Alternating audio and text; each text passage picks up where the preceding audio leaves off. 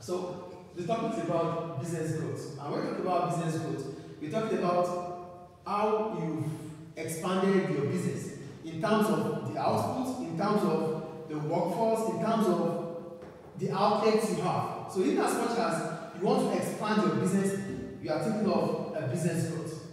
I think it's clear. So look what I wrote about business growth. I said business growth implies an increase in the size of a business in terms of the market share, outlets, and output. So in terms of the size of the business. So it is only when you can compare the size of your business from the past to now that you would know if your business has grown or not. So if you can't compare the size before now to the size you are right now, then you wouldn't know how big or small your business is becoming. Do you understand? So that means us to go to what we call ways in which the size of a business can be measured. When we talk about how the size of a business can be measured, it has to be based on you comparing different firms in that industry. You can't have a firm alone and compare and to know how big or small it is. You have to compare it with others. So it's just like you having a farm and you feeling that the farm is the biggest in the world. Because you've not seen other farms. It's only when you see other farms you would know how big your farm is or how small your farm is. Do you understand? So that means if you have to compare the size of a business, we have to compare it with its competitors. So these are the ways in which the size of a business can be compared. One, the number of employees. When we talk about the number of employees, we're talking about the number of workers you have as a firm compared to your competitors. So if your own company has 100 workers and your competitors has 300 workers, in terms of the numbers of workers your own have, it means your, your firm is bigger than that of your competitor based on the number of workers. So, and when you are comparing the size of the business, everyone has its own perspective. So I could judge, I could base my own research on numbers of workers. You could base your own research on the number of the capital employed. So individuals will have their own basis of judgment. I think, I think it's clear. So I, I might compare with the number of workers, you might compare with the capital employed. So that's the first one. So we're comparing, when you are comparing with the number of employees, it means you are comparing the size of the business based on the workers each firm has in that industry. I remember what an industry is, the combination of firms in that market. So, so different firms become an industry. So two, the size of the market. When you talk about the size of the market, you're talking about how firm A dominates the market. So the dominance a firm has over its competitors is what we mean by the size of the market. So what does that imply? It implies the market share, the percentage the firm is controlling in the market share. So I wrote, this implies the dominance a firm has compared with its competitors, the percentage of the firm's market share. And remember the formula for market share. The total, the total number of sales, the brand sales divided by the total market sale times 100. Right? The third one, the capital employed. When you are comparing the size of a business based on the capital employed, you're talking about the assets and liabilities of a firm compared to the assets and liabilities of other firms in the same industry. I think it's clear. And the fourth one, the sales turnover. When we talk about the sales turnover, we're talking about the revenue made from the quantities sold by a firm compared to the revenue made on the quantities sold by other firms. Do you have any questions about it? You can increase the size of a business internally or increase the size of the business externally. So when we talk about internal, that means we're talking about internal growth. So if a firm has to grow, business growth implies business growth could be internal growth, internal growth, or external growth. So these are the two ways in which you can increase the size of your business. So now let's talk about internal growth. What is internal growth? Internal growth is called organic growth. Why do you call it organic growth? It is called organic growth because you are expanding your business with your own resources. So all the resources are available to you as a business. That is what you are using for your growth, for your expansion. So look at what I wrote. That this is, okay, how do firms grow? Firms can grow in two different ways, namely internal or external, which I explained there. So for internal growth, this is referred to as organic growth, as a firm expands using its own resources. So whatever you use in expansion were just yours. So you use the resources you have, your own resources, to initiate or to launch your growth or your expansion. That's what we call internal growth. So how do you grow your firm internally? One, firms can grow through increasing the, its branches. So we have four branches and we want to expand our business. We can expand it to seven or eight branches. That means we have a branch here, we have a branch in Misrata, we have a branch cut across the country. So this branch still belongs to us. We are paying the rent or the properties are ours. So that means you have increased the size of your business internally by having different outlets across the country. That is an internal growth. I think it's there. Two, first can go through franchising. You can also expand your business through selling franchise. You know what a franchise is? It's buying the brand of a business to operate. So you're gonna have the franchisor will sell its franchise to the franchisee. So you as a business, you are the franchisor, selling your franchise to other outlets. So they're still going to carry your own name. So that means you have extended or expanded your business internally through selling of franchise. I think franchise is clear. The third way in which you can expand your business internally is through attracting investment from larger firms. So you make your, your business looks attractive to bigger firms so they invest in your business. Do you understand? So they invest, they, they have their own firms separately, but they are investing in you. It is an investing in you means an internal growth.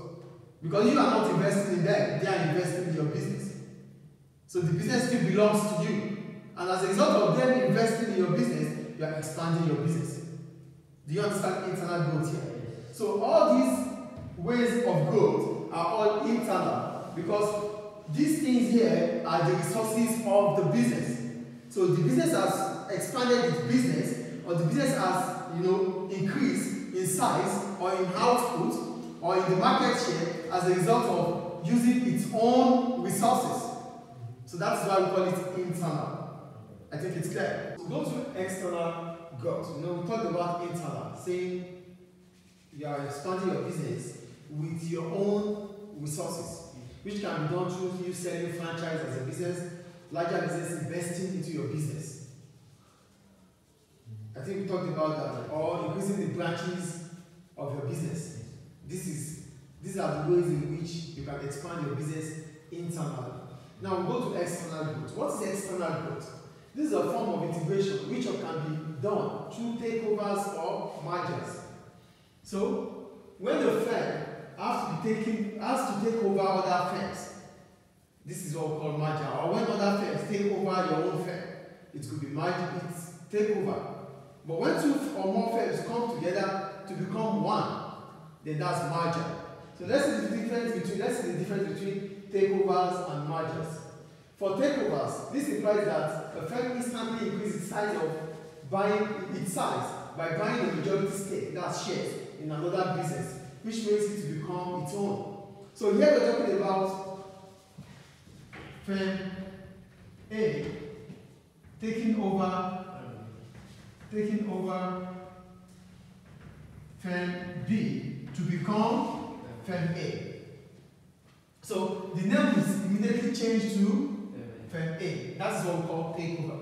I think takeover is clear. A firm buying the majority stake of another business, which makes it automatically its own business. I think it's clear.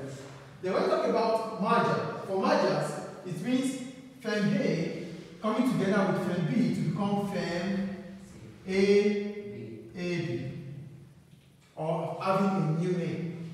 That is merger. But for takeover, the, the business that buys the majority stake, the majority stake takes the name. That is takeover. But in merger, they would either form a new name or a combined agreed name. Is it clear? I think we understand the difference between takeovers and mergers now. So takeovers or mergers, they are both what? Integration. Either takeover or merger, it's integration. So what are the types of integration we have?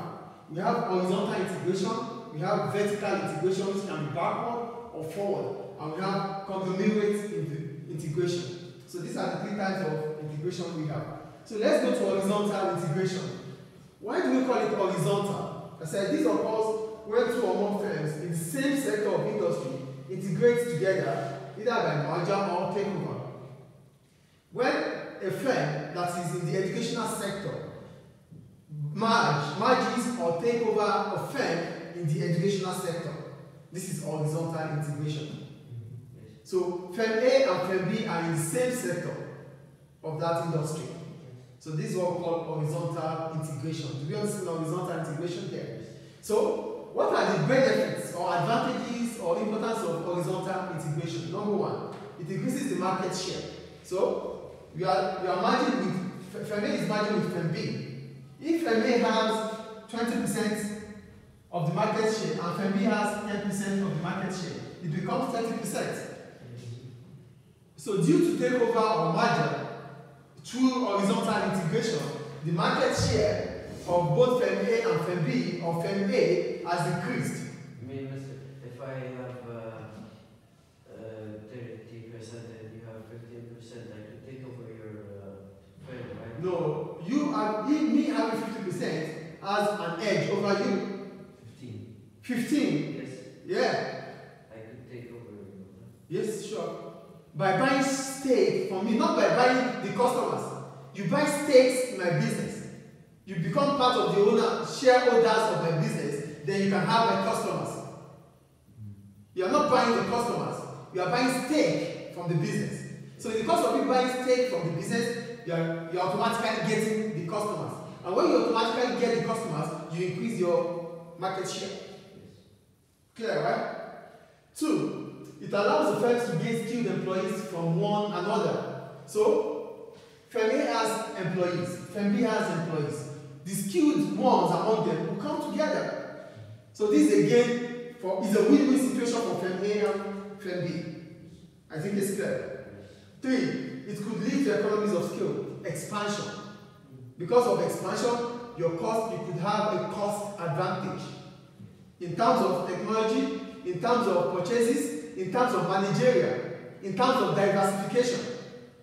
So, in as much as you are expanding your business, because this is expansion, yes or no? Yes. So, in as much as you are expanding your business, you might enjoy economies of scale. And what's the economies of scale? A cost advantage as a result of expanding your business. I think it's clear. So whenever a business expands, the business must enjoy what we call economies of scale. I think it's clear. So what are the setbacks when it comes to horizontal integration? Number one, there will be duplication of resources which may lead to workers being made redundant. Firm A and Firm B are going to do the same thing, yes or no? Yes. So that means Firm A and Firm B will automatically have almost the same workers. So as a result of this, some workers might be made redundant. What is redundancy, right? Surplus to requirements. Surplus to requirements. This is what redundant means. It means the job that has to be done by two people, we have four people for it. So that means two out of these four people has to leave. They have to leave because there's duplication of work, there's duplication of operation, there's duplication of function. So two people can do the job. So we sorry, they are not kicked out, they are not fired, but they are made redundant. What? Yeah, so they don't have anything to do. So they will be made redundant and they will be paid for being redundant. Is it clear? So the first problem about horizontal integration is that workers may be made redundant. Is it clear? Second, it could lead to diseconomies of scale. You know, we talked about economies of scale here. But whenever a business expands, and as a result, its costs continue to increase, then there's these economies of scale.